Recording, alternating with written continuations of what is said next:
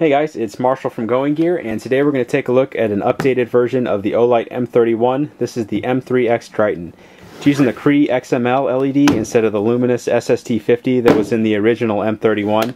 Gives you more output, better throw, because it is a smaller LED. So here's the light itself. We're going to set that to the side for right now. The other stuff you get in here, manual, here's an extension piece. We're going to use that, so we're going to set that to the side as well. Spare O-rings, nice holster. This right here is a uh, battery tube. So if you have it in the default configuration, it'll take either three CR123s or two 18500 batteries. If you're using three CR123s, you can stick them in here to keep the uh, batteries from rattling around in the tube. Just because 18500s and 18650s are a little bit wider diameter, so this will keep them from rattling around if you're in a tactical situation. We're going to be in my backyard, not a tactical situation, so we're going to leave that in here.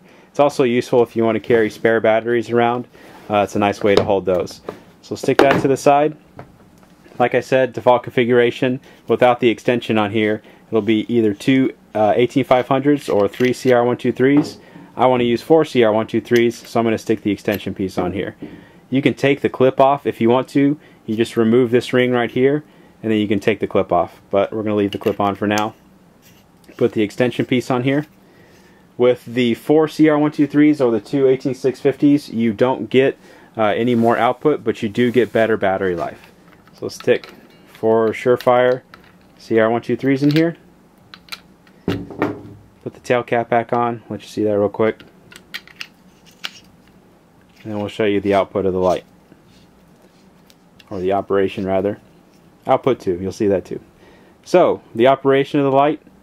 Lightly press the switch turns it on for momentary. Click it all the way, you have the constant on. And you can see, as long as you're just using that switch in the back, it's not going to switch modes on you. If you do want to switch modes, head tightened is going to be your max output.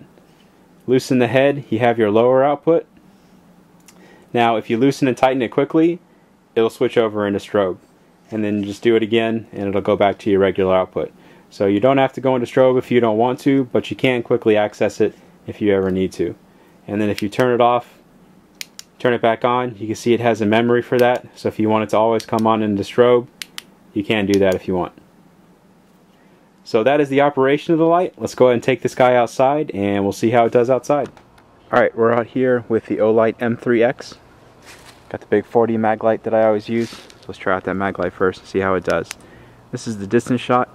That is my house. That's about 50 yards away tree in the front yard that's about 100 yards.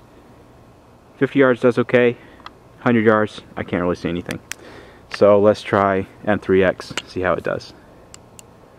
Obviously a whole lot more light coming out of that at uh, 50 yards. It's honestly a little too bright. And even at 100 yards you can see really really focused beam on this. 100 yards absolutely no problem. It can go a lot further than that if you need it to. And you can see zoomed in you can make out all the details absolutely no problem. So two three four hundred yards still very feasible for this kind of light. And again I don't know how well it shows up on the video but even my backyard for about probably 30 40 yards the spill of it just illuminates everything around me. Uh, so that's kind of nice not just what you have it focused at but uh, a lot of what's around you as well is lit up So there you go. That is the Olight M3X with the new XM-L LED. If you like it, you can get it from us at goinggear.com. If you have any questions or comments, you can reach us in the comments or at goinggear.com. And if you like the video, be sure to subscribe. We're putting out new ones all the time.